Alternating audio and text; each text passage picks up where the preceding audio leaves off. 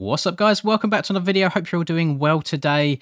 Is it just me or are we getting absolutely spoilt for choice in terms of Supercross tracks recently? You can tell the Supercross season is in full force. This is Homeyard SX and he's created by Janes46 and I think this is his first time going solo. Usually he creates tracks with Jones as well, the old Janes and Jones combo. But I've only seen his name on this one. This is recently recently released English on the, the MX Bike shop and consists of three Supercross tracks. It's got a Daytona track, a North track, and a South track. We're going to try all three of them for you today, and hopefully, I, I, I, feel a little bit of that Supercross mojo a bit more. And I think we can all agree it's bloody beautiful. I absolutely love these textures that have been used. You smash 42k, you smash 43k. I'm going to push the boat out. Can we hit 44,000 subs by the new year? I think we can do it. You guys have been nothing but supportive recently. I hope you've been loving the content enjoy this video. Thank you so much. Uh, another day, another time for me to change up bikes again when it comes to Supercross instead of actually getting comfortable on something. Oh, what's wrong with me? So, Homeyard SX. This looks so pretty. And it's, it's weird. Like, it's a backyard style track it's absolutely huge. It's just like your own personal compound. It looks absolutely lovely. Uh, as, as I said in the intro, the textures are bloody beautiful. So this track that I'm on right here, I believe this is the Daytona track. So what we're going to do is we are going to spin some laps and you're going to try and learn some tracks with me again. And I'm literally playing this the day after recording the video on Cody James's recently released Supercross track as well. But it's, it's very, very odd. We are getting very, very lucky in terms of these tracks. And already, straight off the bat, guess who's going the wrong way? Take number two, we're going the right way this time. This is going to become just a running joke on this channel at some point. I thought them whoops felt uh, felt strange when I was going into them. So we go through the old whoop-de-doos right here. Under the tunnel, I do love me a uh, an over-under jump. And this looks like a triple out of that corner into another triple straight into this one. Round to the right we go, up and over triple Oh, that is... I'm going to I'm gonna call it triple. People will bully me if I call it a quad, because the tabletop is one jump, not two. Even though it's the size of two. and up and over. Oh, that's a very long rhythm section. That's nice. I feel like recently we... Well, in terms of custom tracks, especially in Supercross, uh, people tend to shy away from the longer rhythm sections. So that would be nice to try and get a bit of a flow going through, learn a little bit. Let's go inside here. Should get step over and double. Round to the right we go. We go double, up and over this triple. Lovely. Round to the left. I'm quite... I'm sliding about quite a lot. I'm, I'm 97% sure that I've got got the updated tyres on and I'm not on the stock Pebosos. It might be a case that it's not um, not soft soil. I know some people shy away from it a little bit, just give tracks a little bit of a different feel, which I, I don't mind. I like tracks that, that test your throttle control a little bit. I did get a new controller, happy to announce. Uh, over Christmas, I got a new PlayStation 4 controller. I didn't... I, I've been playing on a PS4 controller for the last... Oh, God knows, just probably over a year or so now. And I've just got used to it. I didn't want to kind of venture out and change it up to an Xbox controller or PS5. So I just asked for another PlayStation 4 controller because the one I was using... Well, the, the two I was using, I was alternating between two. Uh, one had some stick drift, on the left stick, so I had to run a fairly high dead zone, which I'm not a fan of. I like being in full, full control of my bike. And then the other one was having connection issues, so it would randomly uh, disconnect itself. And Fortunately, it never happened in any races. It was more so me playing around in testing, but I thought for my own good, to save me smashing a hole in my glass desk, which I imagine is going to leave a, uh, a, bit of a mess, I thought let's just just get a new one, and uh, and we'll go from there. So I'm currently breaking in. I'm hoping it doesn't take me too long. I'm not sure if anyone else is the same when it comes to new controllers, but I find it takes me a little while to get used to it. I mean, straight... Oh, my God, that was close. Straight off the bat, it feels very odd because the triggers, so the right and left trigger, they're a lot stiffer than what I'm used to, where I've not worn them in properly yet. So yeah, straight away that is something different for me to overcome. So you're meant to go triple to downside here, and then you go step on, step on, step off. There we go, okay. I think I know what line I need to be taking in that section now. Let me go outside here. No, no it's a, it is a slippery track. I, I feel like it's not soft soil, Unless it's the fact that these are my first laps on the game today. Not entirely sure.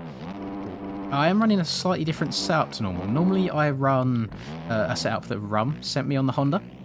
Uh, however, I did have a setup that McChicken sent me as well laying around. Uh, so I've chucked that one on today to see if I enjoy it.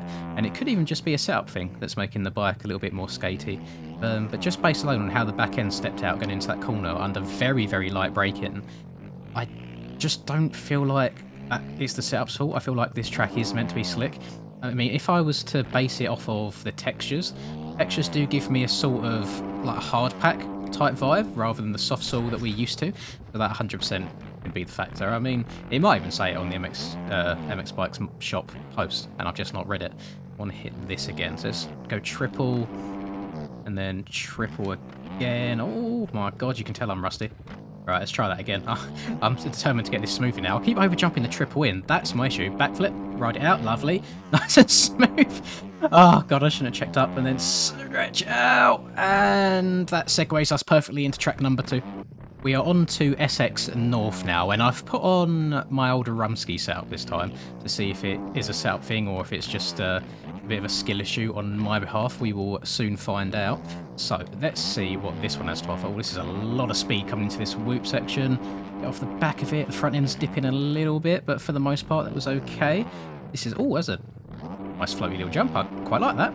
And then I'm a fan of a dragon's back, on, off, round to the left, step on, step off. Very simple section there. Little double another dragon's back onto it on off. Oh, these are these are some nice little sections. This flows really really nicely. A triple, double over there. I mean, I'm not sure if this is an easier track or if I'm just getting lucky, but I'm gelling this one much more than the that first Daytona one. Uh, let's go double, double. That is 100% meant to be a triple, triple. I am a massive skill issue. Got a little tabletop step down type thing, and then you can definitely jump all the way into the corner here. Okay, so what do we have? This is a triple survive. Thank you very much, Barbosa. Sometimes get lucky. Our channel, channel mate in a Kevin Windham and get to uh, randomly downside the uh, the edges of jumps. Let's try and get some clean laps going.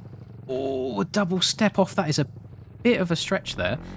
Not too sure if that's doable, but I mean, I wasn't far off for a kind of half half-hearted attempt. Let's change down two gears into third. Over that. I feel like since I've downloaded this uh, new sound pack and all the 450s, my I've, I've been in too high of a gear a lot of the time without realising because I feel like it all kind of sounds the same. I need to remember to shift down a little bit more because there's, there's really no need for me to be in third gear around a bowl turn unless I'm going straight into a whoop section afterwards and I want to be into a higher gear. I mean, second gear will do me absolutely fine. It'll give me a little bit more throttle control. Let's try going triple this time, triple triple again. And this is that weird tabletop step downy type thing. Or, yeah, if I downside that nicely, 100% that is on. And then we got a triple here, very big one. That sends you a lot higher than I would expect, uh, considering the scale of the rest of the track. Go around to the left. I mean, the traction, I don't know. It definitely definitely feels slippery. I'm not sure if it is just a placebo thing or, or what. Uh, it's definitely not the setup I was using. It feels just as slippery now on, on this one too. Let's go down to second rather than third. Let's go second gear, up there, go to third since we're going over this dragon's back. On off, down to second gear again. Go double, double, double. Step on, step off. This is up. I like this one so far. This is this is my favourite one out of the two that we've done so far. Quite a long shot. This there's something about it. I'm not sure if it's the flow. I'm not sure what it is, but me uh, me likey. Very very very Kinder Bueno.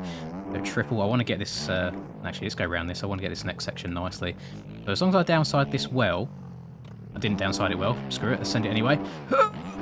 Oh, boing. Okay, so as long as I downside this well, there we go, perfect. Stretch it out.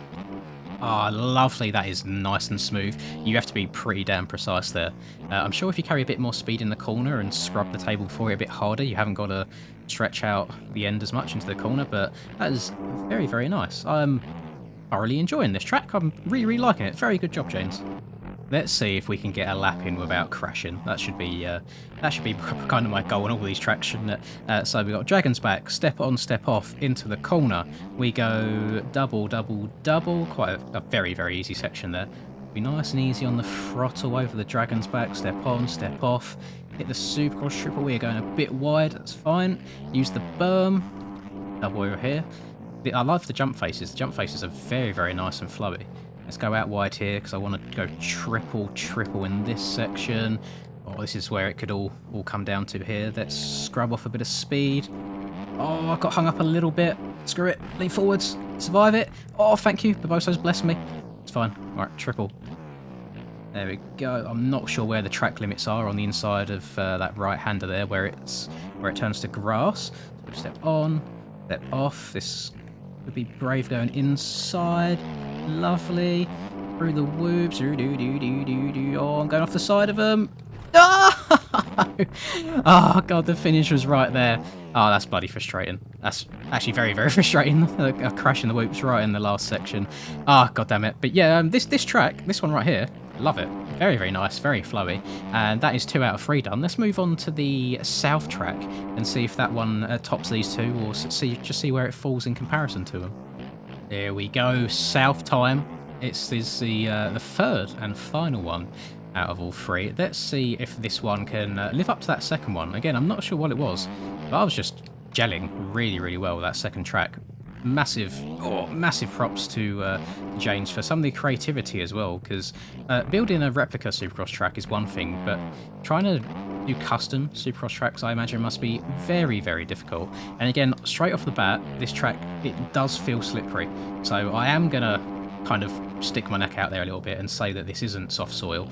It might just be soil. I have no idea. I, I can't even remember off the top of my head all the different balls that they've got in the game.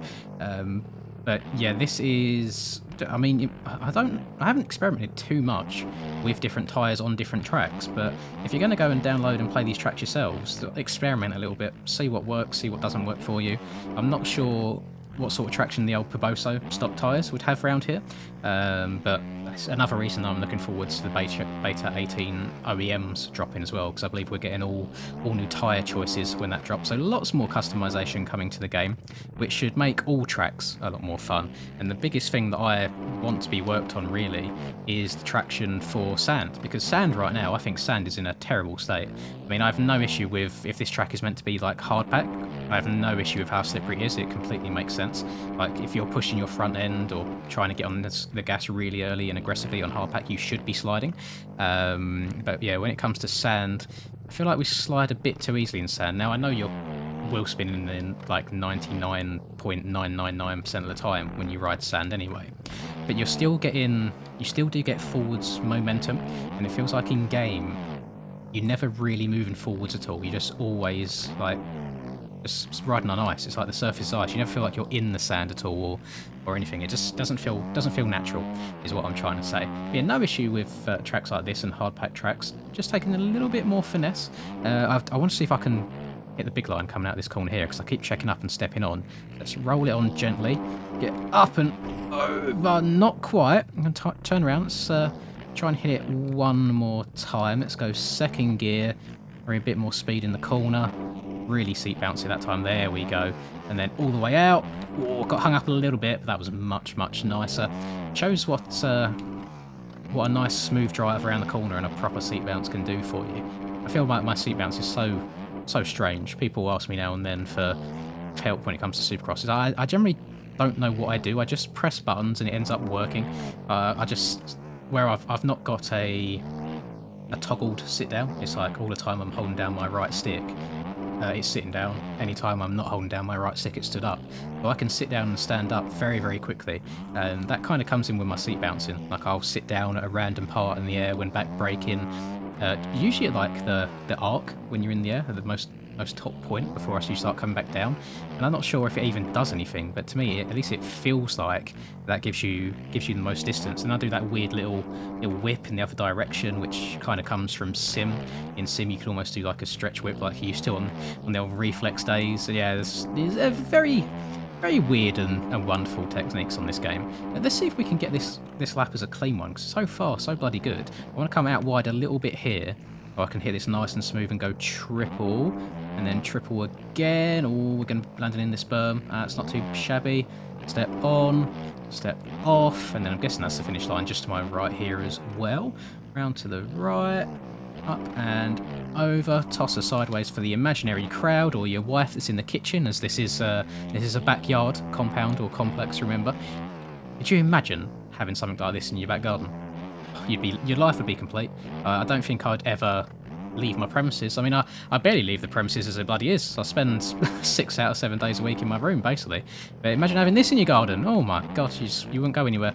Order all your food online, get it delivered to you. Happy days. It's me, my bike, and a, uh, and a can of fuel, and I'd be a very, very happy man. Uh, I think I'd, I'd, just be happy with a bloody turn track uh, in my garden when I uh, when I eventually get that, that dream home, I think. But, you know, times are tough. Times are tough. You got to be saving all them pennies. Be lucky lucky around here to get a bloody like, apartment or a, or a flat or something like that for 300 grand. Never mind somewhere with a nice bit of land out the back. Those are those are the dreams. Those are what you aim for. That's end of end of life goals right there. Imagine me being like 60 70 years old ragging a pit bike around a turn track in in my garden. Oh god just that's a that's a funny mental image to paint for myself and I think that's probably going to do it from me, if I'm completely honest. Um, I think in terms of how I've been enjoying the tracks. The north one, which is the second one that I covered, by far my favourite. Oh, I'm currently stuck. That's a bit embarrassing. Uh, then it is the south one, the third one that I done, and then finally it's the Daytona one. Now, to just bang out three custom Supercross tracks like this, I think is very, very impressive. He's done a very, very good job, and the textures are beautiful. Oh, they're so nice. Uh, if he makes more tracks, please, please use these textures. I'm not sure what it is, they're so appealing on the eyes. And I have reshade on right now, and it's not like, it's not overbearingly bright either, which is lovely. And uh, the skybox is very pretty, I've not even mentioned that. I like some uh, some snow, snowy mountains in the distance, and it's lovely. We've got a city the other way, that's a interesting contrast actually, going from mountains to the city back and forth, but he's done an amazing job here. It's really, really nice. And I'm just happy that we're getting so many Supercross tracks before the season starts, because I more than anyone need the practice. Uh, I, I, say it every single time I cover a Supercross track, and I'm probably going to say it every other time I do a Supercross track before the season starts, but I need to practice a whole lot more than I am doing. I'll get to it eventually. Maybe maybe the day before I'll just spend like 20 hours straight grinding out Supercross. Uh, we'll see. But I hope you've enjoyed this video. As always, if you could drop a like and subscribe to the channel if you're new, I'd really, really appreciate it. I'm kind of pushing the boat out, and I want to see if we can get to 44k for the new year if we can do that or not, I have no idea since my original goal was 42,000, but you guys have been insane recently, so thank you very much. Um, have a lovely rest of the day, wherever you're up to, and I'll catch you in tomorrow's video. Peace.